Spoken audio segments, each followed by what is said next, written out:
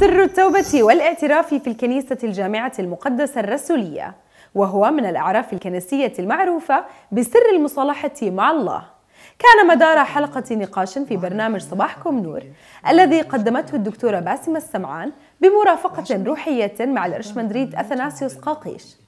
حيث أوضح قدسه أن سر الاعتراف هو أحد الأسرار السبعة المقدسة المبنية على الإقرار بالذنب وطلب الصفح من الله الغافر للذنوب.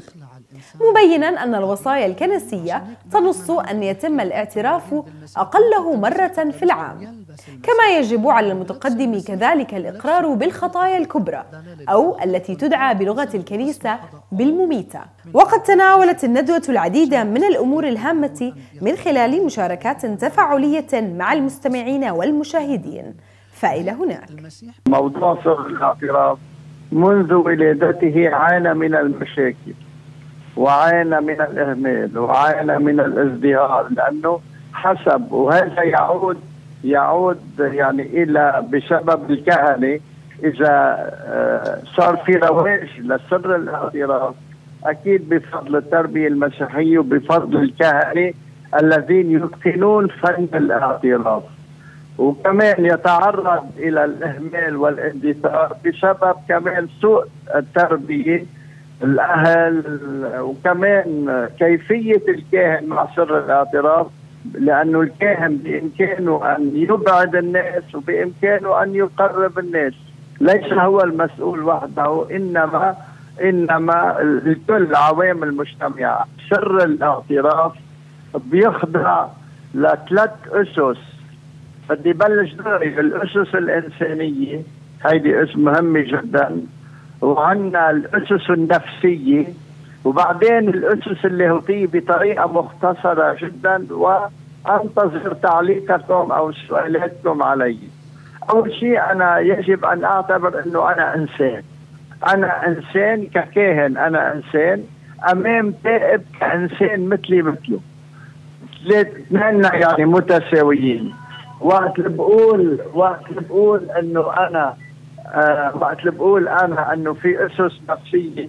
هذه شغلة مهمة جدا ومطلوب من الكاهن في هذه الحالة في هذه الحالة أنه آه يعتمد آه يعتمد أسس إنسانية لا ترهيبية هون مهمه جدا لا ترهيبية ولا تخويفية ولا تفكيعيه ولا ترغيبية بالحد الأقصى إنما يكون في مسلك ثابت. انسانيا إنه أنا أنا إنسان مقابل إنسان أشجع ككاهن على على العلاقة المباشرة مع الإنسان التائب مع الخبرات المباشرة من قبل التائب مع الله لأنه هون في مجموعة مجموعة عوامل مجموعة خبرات هي روحية هي نفسية هي اجتماعية في آن واحد لأنه أنا هذا الإنسان وقت بيكون إنسان يعني جاي كوني أنا بالمزار بعرف كثير من كذا سنة. شوف إنه هذا الإنسان جاي لعندي تيطلب الراحة لأنه أنا شو شغلتي ككاهن؟ وظيفتي ككاهن بأي سر أنا ككاهن مفروض فيي بسمة وحضرة الابونا شغلة وحدة فقط حتى نهاية حياتي الكهنوتية إنه أن أقود الناس إلى الله وأن أجلب الله للناس. هيدي شغلتي. مضت سنين طويلة في بداية القرن الماضي ولنهاية القرن العشرين والشعب المسيحي بالأردن كان ما يفهم أبعاد وممارسة سر الاعتراف.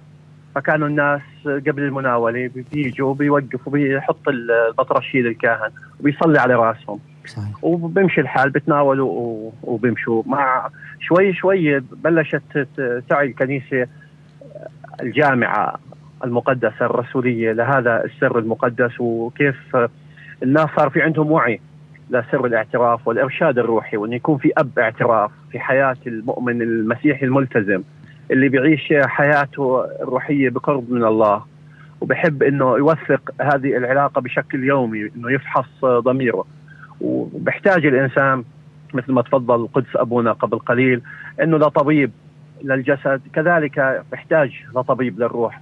فيجي هنا دور الأب الاعتراف الكاهن اللي بيرافق الإنسان. حتى إحنا الكهنة يعني لازم يكون في عندنا وإجباري يكون في عندنا مرشد روحي كاهن زميل إلنا. يعني لاعلى سلطة بالكنيسه البطاركة والاساقفه بيكون عندهم مرشدين. حتى إنه قداسة البابا فرانسيس في عنده مرشد روحي من الآباء المقربين لقداسة البابا. فيجب على الإنسان مش بس إنه الكاهن لأنه هو ناس تعترف عنه عشان بيكون الاب الروحي أيضا يجب أن يكون آه، هو لديه أيضا هذا الإرشاد الروحي بحياته لأنه فحص الضمير آه، مسألة حساسة جدا وفيها شوية آه، مرونة تصبح مع الشخص من كثر ما الحياة ومتطلباتها واعتراكه تصادم في المجتمع الخطيه بتحيط فينا من كل الاتجاهات. بيحتاج الإنسان إلى عودة للضمير وبده لازم يعني يتأكد من العلامة بده بوجود الكاهن بيساعده. أوكي أنا بعترف خطاياي لله دائما بنسمعها أنا بحكي خطاياي لربنا ماشي تمام. طب أنت بدك تشوف الحل كيف؟ ولما بتعترف فيها أنت أمام الكاهن لما بتأخذ الحلة اللي بيثبت إلي أنا هذا السؤال كثير الناس بيسألوه إنه شو اللي بيثبت إلي؟ إنه إنه الله سامحني على الخطية.